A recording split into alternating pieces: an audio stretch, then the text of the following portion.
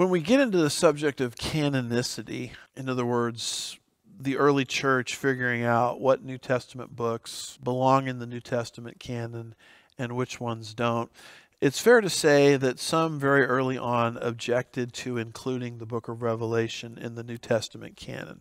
Why did they do that? Because the style of writing is different, and so they don't think John the Apostle could have written this.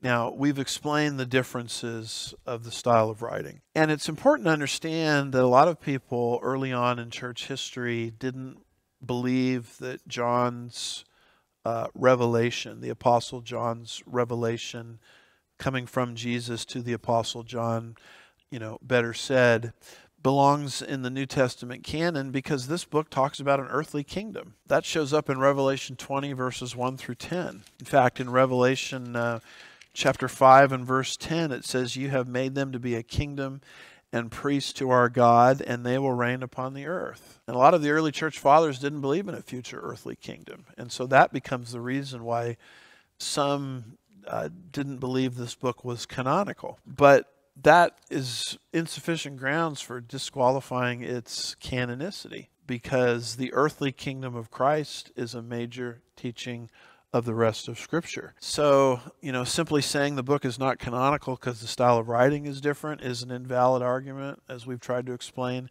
Simply saying that this book should not be canonical because it mentions a future earthly kingdom, that's an invalid argument. And one of the reasons we think the book is canonical is because it harmonizes really well with prior revelation. And that's how the early church determined what was canonical and what was not. There was a test of apostolicity. Was it written by an apostle or someone who knew one of the apostles? There was a test of what's called Catholicity, which has nothing to do with the Catholic Church. It has to do with universality. That's what the word Catholic means. Was it embraced as a apostolic writing by all of the early churches?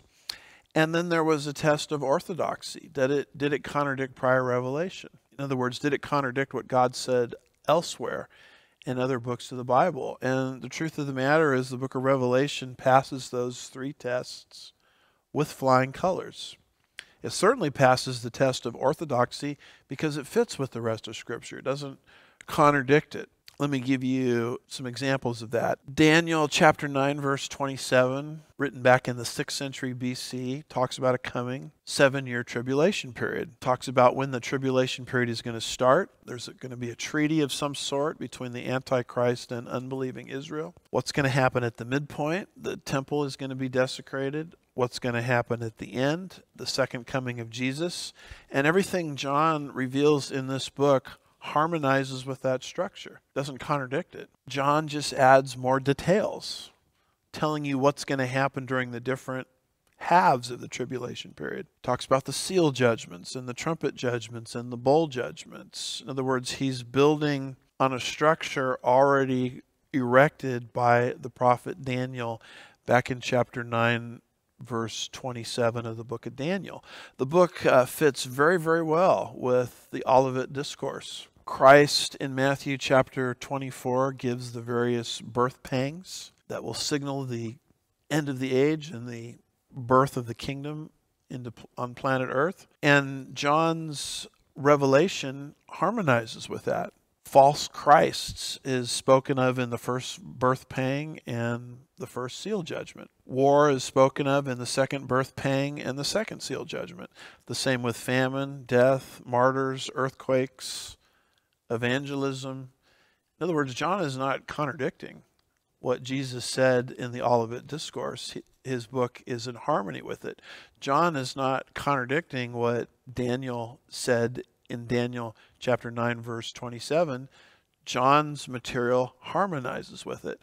And so when you take a look at all of these different factors, uh, whether it's uh, orthodoxy, apostolicity, catholicity, uh, you can see very clearly that the book of Revelation, written by the Apostle John, is deserving of canonical status. And although some did object early on to the canonicity of the book of Revelation, it's important to understand that most of the early church fathers accepted the book's canonicity.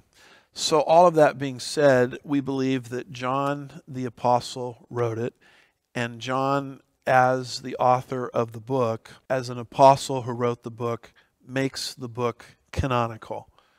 It, it deserves a place in the New Testament canon. In fact, I would argue it deserves a very prominent place in the New Testament canon.